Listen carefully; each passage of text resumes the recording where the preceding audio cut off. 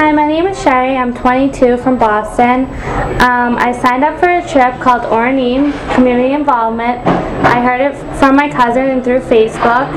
It's amazing. It's a great experience. I love Israel so much, and it's a great way to come back for free and do something you love.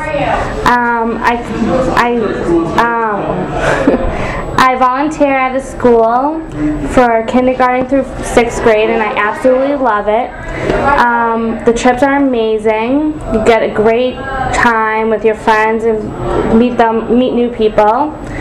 Um, I started a new thing at our school, an English newspaper, and you get a great connection with your kids, and it's absolutely the best time of your life. I'll never forget this. You have friends forever, and you'll always keep in touch with them. I love Israel, and I love Oranim projects.